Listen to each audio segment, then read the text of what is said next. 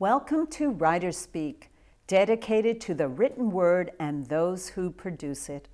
I am your host, Jeane Slone, and the author of two historical fictions, She Flew Bombers and She Built Ships During World War II. Today in the studio, I would like to welcome Jeff Cotton. Welcome, Jeff. Thanks, Jeane. It's nice to be back. You and I have met before over another screenplay earlier, and now we're back over this one. Yes, we're going to be talking about another screenplay that you have written since you're so prolific. But let's tell the audience about your background. And Jeff is a marriage family uh, therapist. He's a certified trainer with the National Parent Association and he has worked with abused and neglected youth for over 35 years. So now we're going to be talking about The Little Dragon. Tell us about this original screenplay. Uh, this one, to me, came from kind of nowhere on a certain level. I had this image and the image was essentially a young 14 year old kid out on the highway in the rain, no home, no destination, no hope. And at first, I did not recognize it was me. You know, at first, because I didn't physically get kicked out of my home, I got emotionally kicked out. So when it became, oh, this is somehow my story, it became an emotional autobiography. None of the events that happened in the screenplay actually happened to me and yet Mike, the protagonist, was me in some way. He was the, this emotionally bright kid who ended up getting into this really nightmarish, kind of hellacious adventure. Dostoevsky, I had read, had these two lines. He said, There's only two novels. Either a man goes on a journey or a stranger comes to town. and Billy Barnes was the, you know, Reckoning of Billy Barnes, the other screenplay. That was The Man Goes on a Journey. This one Little Dragon, this is The Stranger Comes to Town. This is about a boy who gets arrested for being on the streets, hustling because that's his way to survive, and gets busted into this nightmarish juvenile prison in Georgia, rural Georgia, called Ackmore Juvenile Prison. And his adventures of how he stays alive here and the flashbacks of how he got there is kind of all revealed. But you know what was true? I mean, in the thousand page book I wrote and the screenplays off of it, there was never once writer's block, ever, ever, ever. People say there's never writer's block. It never was there. It just told me the story. And so, in that, it became this thing that I almost needed to write because it was given to me kind of universally, and I just kind of well, let me write it out and see where it goes. And in the end, it healed me as well as anything else, you know. Well, this is the second screenplay you have written about Georgia.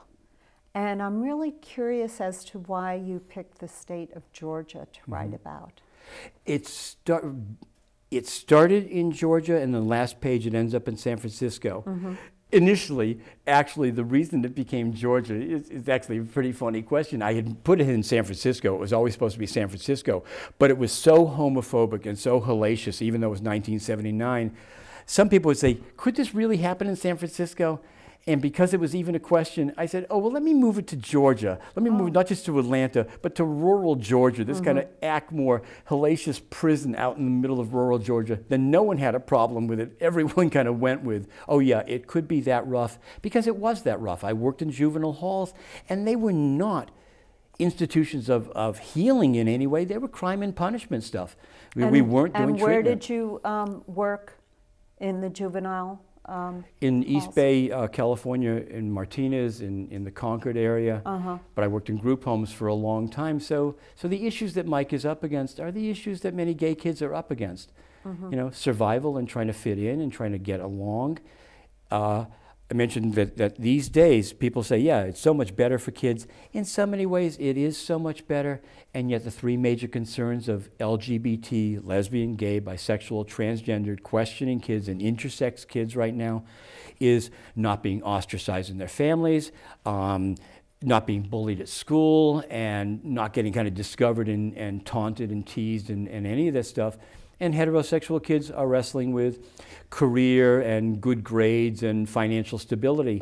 And so this young kid hits the streets early in Georgia and ends up making his way. In the last page, he ends up in San Francisco, which is where he's going, and you know, which is true for me. I mean, when I came out my parents were not acceptant of it, back in Massachusetts, I looked at him and said, Well, you get to treat me second class. You really do. You don't get to do it up close. And I did a drive away car from Massachusetts to San Francisco, my favorite city where the women are tough and the men are pretty. You know, I went there to live my life. I'm going to live my life as I am. And that's finally what Mike comes to. I'm going to be who I am. And that's a hard thing for any of us to be who we are, you know. Your dialogue is so realistic in this screenplay.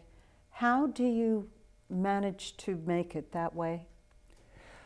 It's, it has always been true, even in the initial contest where people didn't necessarily like the screenplay, they loved the ear to dialogue. There was something about the truth of how people would speak. One of the ways I believe all the, the last the last honings of the screenplay were always I was read it out loud to people. Mm-hmm. Does it sound true? Does it read true? If I had a long paragraph, I would read it really, really fast, like Mike turned this way, did this, did this, did this, and did it flow? And if it flowed, I had it right. And if there was a glitch, it read good on the paper but didn't sound good and then, so that was always the ear. I would actually, all the last corrections were done out loud to hear. Would that be what someone would say? Would that be how they would say it? Because you know the thing when someone breaks the believability of something, if we're in the middle of a horror movie and I said, middle of the night, I said, oh, let's split up. It's like, oh, come on. Instantly, it was like they wouldn't do that. So the same with dialogue. If somebody wouldn't say it that way, then it breaks the believability. And for a while, I tried to make it a little more PG 13 and tried to not dumb down the dialogue, but make it less hardcore. And then I was getting evaluations of sounds disingenuous, and it did. So it remained rough. This is a rough screenplay, but it's a healing screenplay. So, um, if you had somebody who wanted to produce your screenplay, who said, I really want to soften it and I do want to make it for a uh, younger audience. Uh, would you change it? Yeah, as long as it was truthful, yeah, I could find a way to absolutely soften it mm. and make it truthful. But make it truthful is to me the everything. I mean, I looked, yeah. I looked at these as emotional autobiographies, and good friends who were reading it from the beginning said, Did this happen? Because it was truthful. Mm-hmm. And so, in that, yeah, there's a way to soften that. You know, at the moment, this, these are the hardcore truths. They, they just are as they are. And it, I wished they were less niche. I wish this was less over to one side because movies about young, homeless, gay teen heroes do not do so well financially. And yet, I had no choice on some level except to write it as it was. And in the end, there, there were these things told a certain truth, and in that, that's where, they, that's where I stand with them.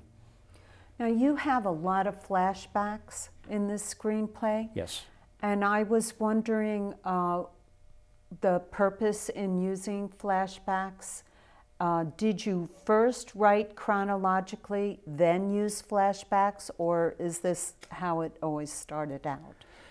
No, the book was always chronological. Uh, Little Dragon became a flashback structure. Part of it was is because most people couldn't handle just if it was the juvenile hall, just that bit because that bit was hardcore. I mean, it was so mm-hmm. hardcore for you that was really, really difficult reading. That gave it a break because when it hits this Ackmore juvenile prison, that place is intense. I mean, there's two different things going on in that prison at once as you get these skinheads who kind of gang rape the younger kids, and that happens in jail with ongoing frequency. And then you get these kind of men beasts that are running around, rumored to be, and at one point it was just almost too much for people to be in there. Mm-hmm. So let me give them a break. Oh, let me take it out. That but, was great. That was so great that you did that. Yeah. That was a very good use of flashback. Gave some people some relief from it too, which is, you it's know. good you. It's good people told you that, or it's good you recognize that. well, scared the hell out of them. But, but you're you're on. in there. You're writing it. You probably aren't, you know, thinking like somebody who's reading it. So it was good people told you. Yeah. But also the way he got busted was very interesting because if you remember, he met that guy on the street early in, and that guy was one of the few people that, was ever nice to him. And it turned out that guy was a vice cop who was trying to entrap him and didn't work then because he was so new to the streets. When the guy offered him, you know, you want to do this or something, you want to earn some money, the kid like backs up and he comes up with, uh, um, my, my, my, my, mother warned me not to ride with strangers. And the guy finds that funny. Good advice, kid, gives him a $10 bill. And then when he picks him up later on, and the kid now is more seasoned, the kid actually is right under the radar, does not get he's in the room with the vice cop. And so in that moment, the person who was nicest to him end up in some way being the person who busted him into juvenile hall. And uh, I thought that was kind of interesting. That was hard to see. The guard in the screenplay is, is the one of the hardest characters to take. Yeah. How true to life is this guard? True. You get cops on the street, and we get counselors in group homes, and military people, and they're so into the power of their role that that's why they went into this profession. It wasn't really to help people. As I said, I worked in the juvenile halls for about a couple of years and just like get me out of here because we weren't doing treatment. Cause, but there were a lot of people in there who liked their power. And that's what Gorgon does. He likes his little fiefdom. He has his power. And in that moment, when the new director comes in, Mr. James, who's kind of a nice guy who looks like a nerd and is kind of out of his water, Gorgon is totally threatened by someone is about to, in some way, encroach on his E block, his place that he rules with kind of an iron fist. So yeah, it's true is that a lot of counselors aren't there for therapy, and a lot of prison guards aren't there to be therapeutic. They're there to support and you know their power. And many parents are like that. You know, many parents also like their power. So Gorgon is true. You know, he's a composite and he's a nightmare, but that's a truthful nightmare. You were able to uh, create some very tender romantic scenes. Mm. And how were you able to do this? What did you draw upon to write those tender scenes? My first relationship with this boy, Gary, and Gary was so damaged because he was a recognizable kid at three, four, and five. He was a fem boy, he just was. And they knew instantly he was gay. And by 13 years old, he was getting kicked out of his house, picking up people at bus stops and truck stops to have places to stay. And I was just out. I was new to being out. And the first time we made love together, he did not want to make love with me because that's what you did to someone to get over on him.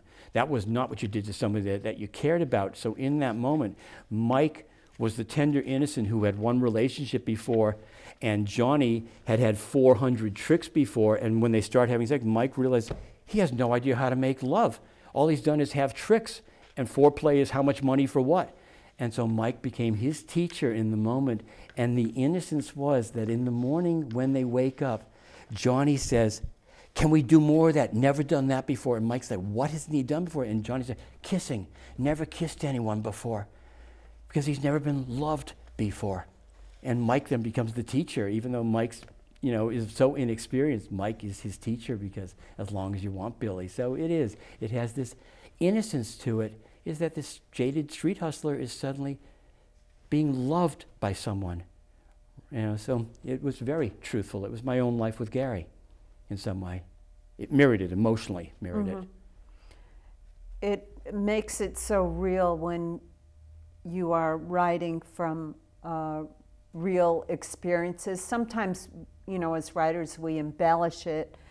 Um, but uh, it's easy to put more passion into it when we can draw from our own personal experiences. Oh, yeah. Mike healed me. I mean, quite frankly, because there were two or three times in that screenplay, Little Dragon, that there's like no healing possible. Oh my God, there's no way out. And as, and as he healed it, it healed me as well. I mean, so these are stories of rectification and healing. If I was going to say anything, these are stories of earn the light. They're dark, dangerous love stories, but make no mistake, they're love stories. They're about kids who don't cut the deal and find their way to be with each other against unbelievable odds. And kids have unbelievable odds. You know, to this day, to this day, you know, 30% of gays and lesbians uh, still try to commit suicide. 25% are kicked out of their homes just for being. 50%, 50% of transgendered kids still attempt to suicide to this day. So the odds are what would it take for two boys to fall in love and find their way to each other amidst all of this nightmare is like, that's a big deal. And they heal. That's a big deal. They heal. And so if you read them, anyone you hang out with them, they're hardcore thrillers, but they're love stories at the core. They are love stories, and that's important. And we might as well talk a little bit about the ending. What makes it really special is it is difficult, the hardcore, violent parts of Oh, it, yeah. but the ending makes it all so worthwhile because it is a healing at the ending. It's commensurate with the darkness. I these things got really, really dark, but in that moment, the light is absolutely the light that is needed to heal that kind of darkness.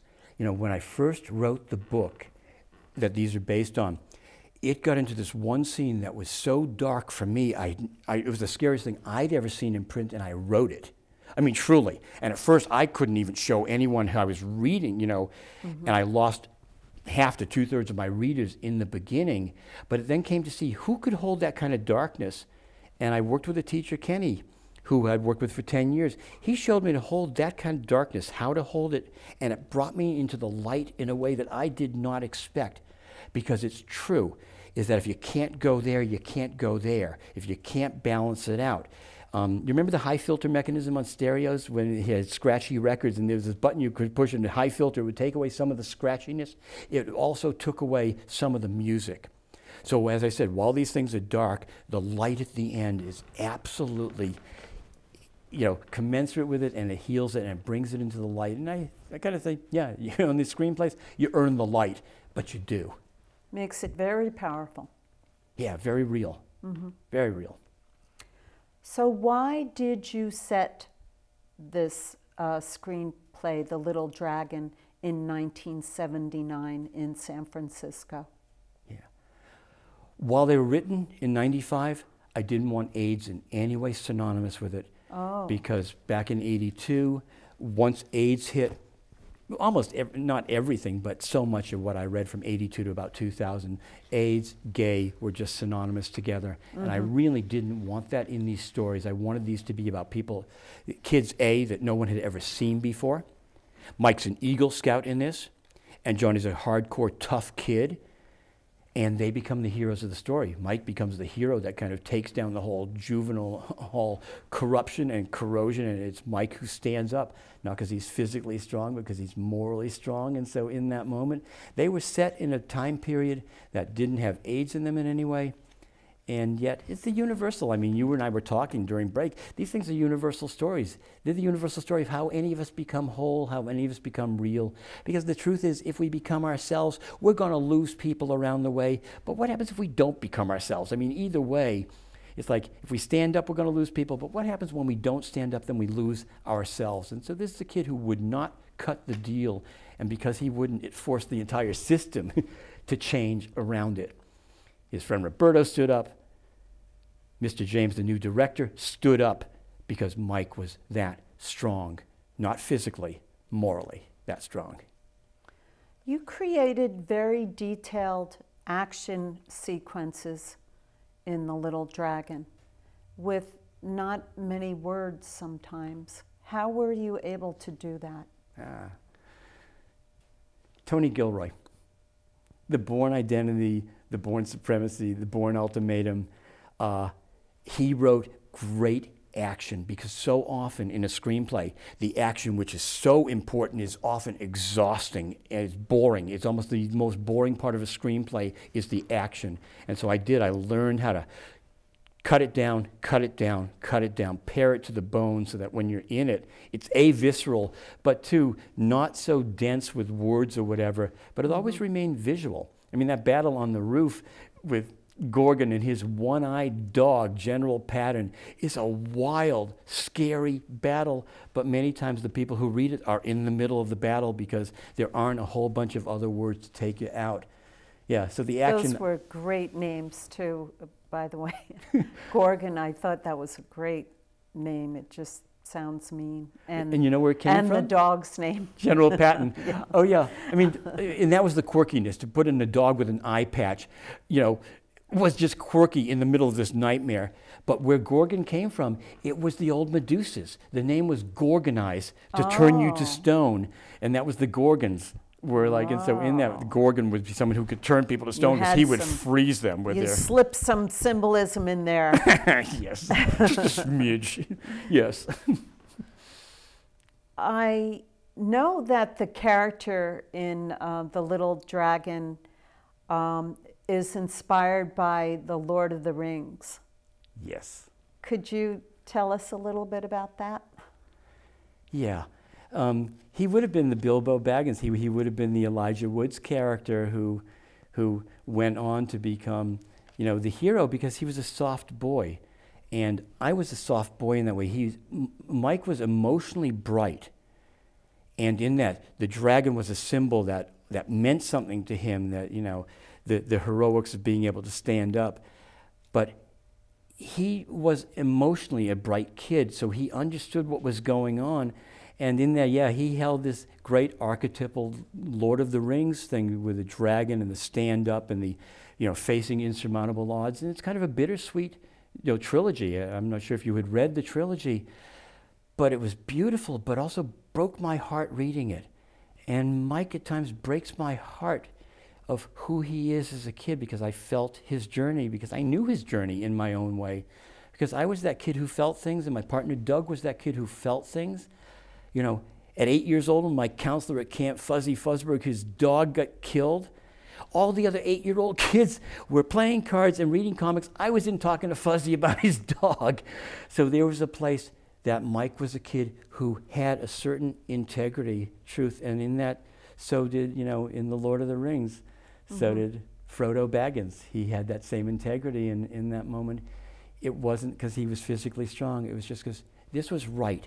Because at one point he's looking at Roberto, who's much more seasoned in Ackmore, and says, Well, why don't we tell what's going on? Roberto looks at him and says, Code. You know, you mean, so Mike says, You mean so kids can rape kids, and if I tell I'm the rat?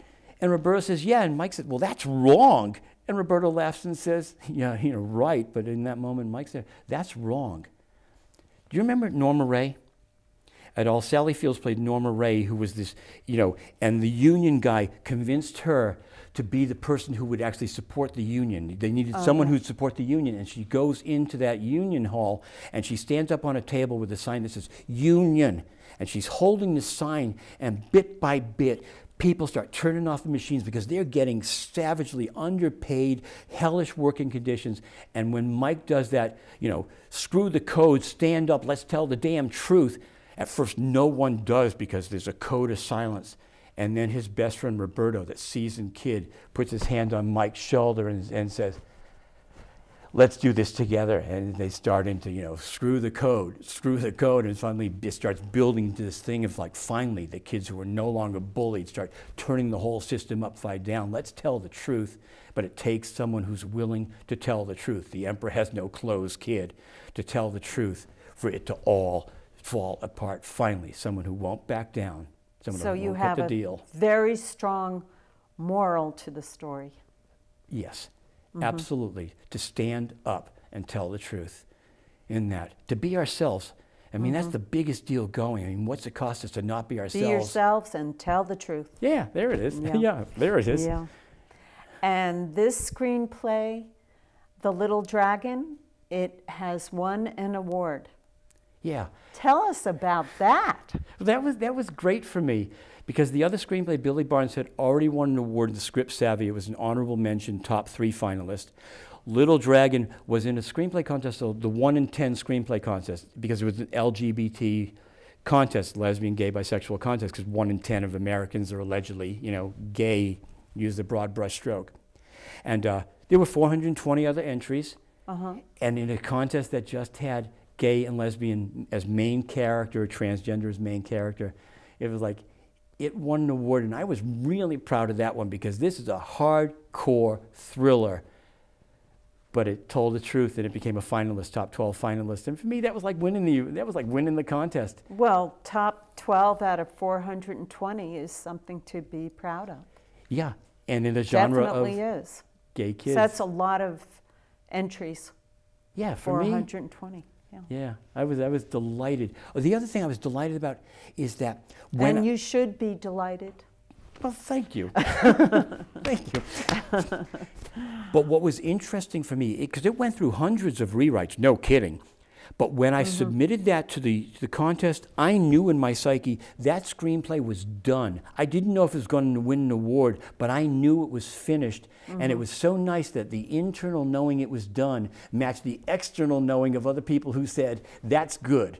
You know, so that was nice is that those two worlds came together because sometimes people will say, oh, I've written a great novel and nobody likes it. I've written a great screenplay. I knew that it was finished and I didn't know if it was going to win anything, but I knew it was done. And then the confirmation was it's done and it's good. Well, Jeff, not only have you won an award, but you innovatively created a trailer, which was very unusual most trailers are created so that a um, movie is produced for a movie, but you created a trailer so your screenplay becomes accepted. Yeah. And um, that trailer is it's very scary actually it but, is. but it's good it, it's so well done that it's very frightening yeah, because the, the little dragon. it was. It was scary, and, and but it was cool because there's the emotional, visceral feel of what that would be to be able to have a kid locked up in this hellhole. Mm-hmm. Because that scene of the castle when you're coming in, you you don't remember this, but if you saw the trailer again, and when we we're going to see the trailer in a moment, you'll see the word evil when they show Ackmore Juvenile Prison. Evil, we put it out of the tower window because it's coming out of the prison. It's a hardcore prison with these skinheads gang raped the little kids, and the staff are homophobic and intense, and it was to create a trailer that you could feel and didn't give away what was going to happen in the movie, but it was good music, good hardcore trailer. So thank you. So shall we watch the trailer? Yes, that would be great for the audience to see this incredible trailer. Okay, take it away.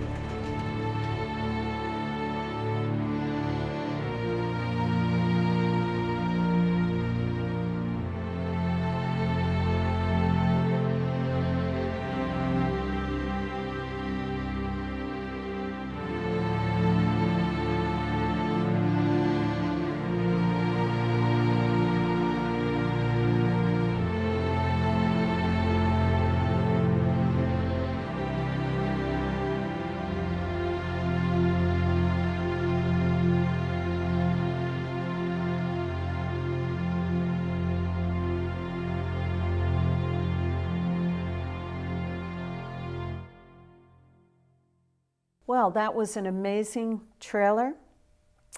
I'm glad we were able to share it. Thank you. Yeah. And thank you for joining us on WriterSpeak, Jeff. It was wonderful having you. Thanks, Jeane. Yeah, from one writer to another. I mean, with your historical novels and my novels in some way, your screenplays, it's like, yeah, fellow writer. Well, we know it takes passion. and I know you have passion. And perseverance and the willingness to tell a truthful story, mm-hmm. the willingness to stay at it, stay at it, stay at it until finally, ah, passion there it and is. perseverance. Yeah. I would like to uh, wish you um, best of luck in all your future endeavors. And um, I hope everything goes well with you and a Little Dragon becomes a success. Thank you. Thank you, Jeane. Writers Speak is produced by the Community Media Center of the North Bay. We would also like to thank our sponsor, the Sonoma County Gazette. Please join us for our next episode of Writers Speak to meet another talented author.